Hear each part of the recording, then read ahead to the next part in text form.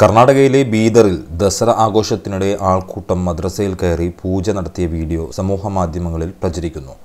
ചരിത്രപ്രസിദ്ധമായ മഹ്മൂദ് ഗവാൻ മദ്രസ പരിസരത്ത് അതിക്രമിച്ചു കയറിയാണ് ആൾക്കൂട്ടം പൂജ നടത്തിയതും മുദ്രാവാക്യം വിളിച്ചതും. ആയിരത്തി നാനൂറ്റി അറുപതുകളിൽ പണികഴിപ്പിച്ച മദ്രസ ആർക്കിയോളജിക്കൽ സർവേ ഓഫ് ഇന്ത്യയുടെ കീഴിലാണ്. ദേശീയ പ്രാധാന്യമുള്ള സ്മാരകങ്ങളുടെ പട്ടികയിലും മദ്രസ ഉൾപ്പെടുന്നു.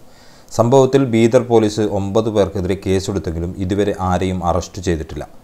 കുറ്റക്കാരെ ഉടൻ അറസ്റ്റ് ചെയ്തില്ലെങ്കിൽ പ്രക്ഷോഭം നടത്തുമെന്നും മുസ്ലിം സംഘടനകൾ മുന്നറിയിപ്പ് നൽകിയിട്ടുണ്ട്. പ്രതികളെ പിടികൂടുമെന്ന് പോലീസ് നൽകിയ ഉറപ്പിലാണ് മുസ്ലിം സംഘടനാ പ്രവർത്തകർ പ്രതിഷേധം അവസാനിപ്പിച്ചത്.